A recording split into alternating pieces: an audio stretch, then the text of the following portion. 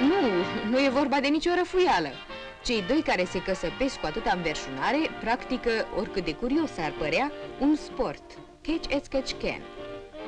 Întâlnirea se dispută pentru cucerirea titlului de campion mondial între spaniolul Modesto Aledo și francezul Julien Maurice.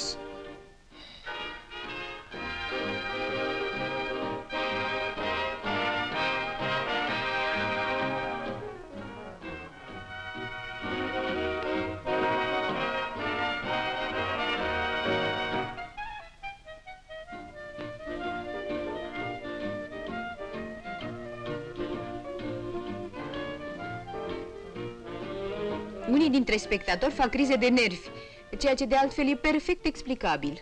Cât pe aci să iasă de pe ring, Aledo a ieșit totuși în cele din urmă învingător.